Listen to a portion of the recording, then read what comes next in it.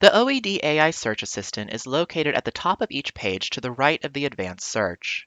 When you click in, you'll be prompted to enter your query. Just like our advanced search, the AI Search Assistant is currently available to anyone and allows users to submit a question and then receive a URL to a pre-filtered search results page. By clicking that URL, you will go to that search results page and then be able to manipulate and filter down further as needed. Note that the AI Search Assistant is only trained on OED.com's URL structure and is therefore limited to its search results and information pages. This means it has not been trained on OED's content itself, so it will not be able to summarize or interpret OED content. It can only give Oxford English Dictionary URLs as its answers. In other words, it can't be used to search other OUP products or the wider web, and it cannot create original content or summarize information.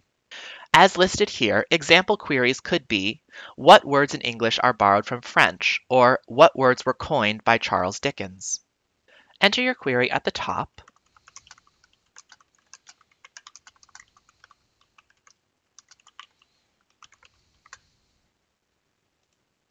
And the AI Search Assistant will then provide a link to an advanced search results page along with any parameters that have been included. When you click the link provided, you will be taken to your results. From here, you see that you can then click into any of the results to view the content, or you can filter further on the left-hand side of the screen if needed.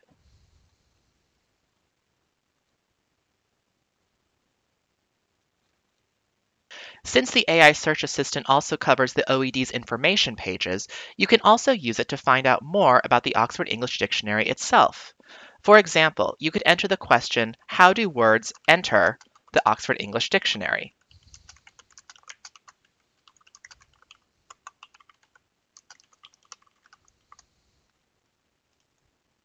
The search assistant will then direct you straight to the relevant information page where you can find out more information. Just like the OED itself, the AI Search Assistant supports the latest versions of major web browsers, including Microsoft Edge, Mozilla Firefox, Apple Safari, and Google Chrome. It is responsibly designed for a variety of screen sizes, including smartphones.